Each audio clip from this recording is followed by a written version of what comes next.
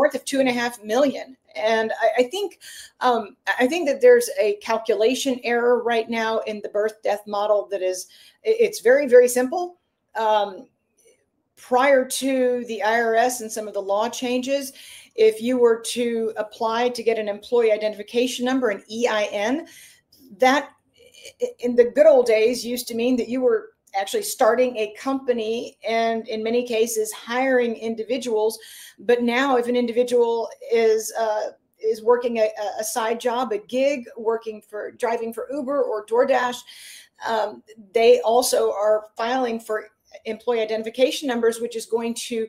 kind of artificially inflate the birth side of the birth death adjustment and that is indeed what we are seeing. It was curious that the Bureau of Labor Statistics did not blame at all the birth death model in the release of August payrolls on September the 5th, and in fact said that it was having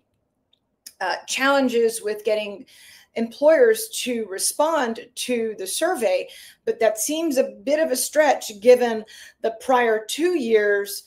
uh, downward, large downward revisions to uh, at the time of the annual benchmark did indeed end up going back to that birth death model being broken at the moment.